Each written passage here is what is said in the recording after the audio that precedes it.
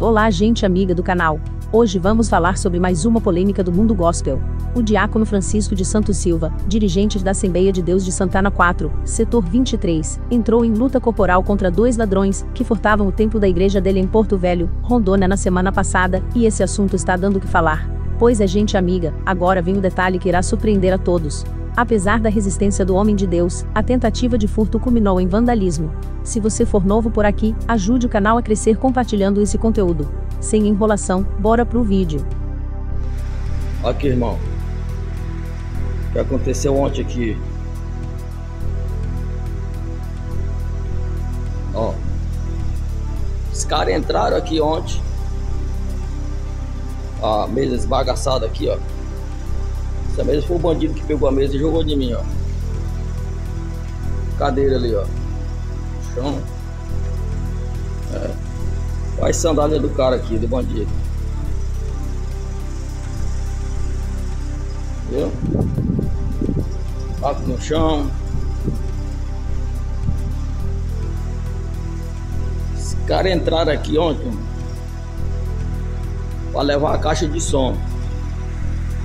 Só que não conseguiram não, eu juntei na porrada, ó. Essa mesa esbagaçada foi o cara que pegou a mesa e jogou de mim, eu parei com a cadeira. Viu? Ó o microfone quebrado aqui, ó. Só tinha um microfone, agora estamos sem microfone. Pensou? Aí, ó.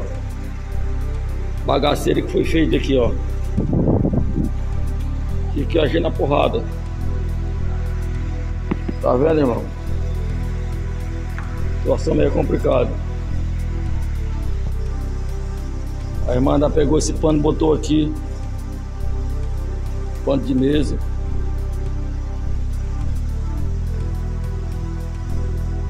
Até sangue no pano ficou.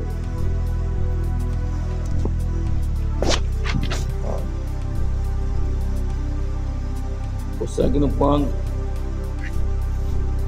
sangue.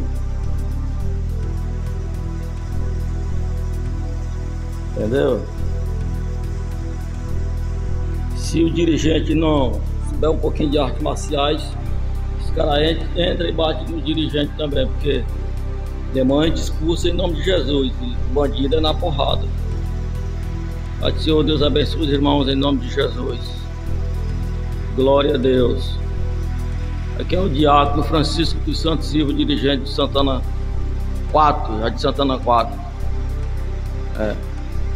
Aqui que aconteceu, setor 23. E então, o que vocês acham? Tirem suas próprias conclusões e não deixem de comentar esta polêmica. Se você gostou desse vídeo, deixe seu joinha por favor. Obrigado por assistir e até a próxima.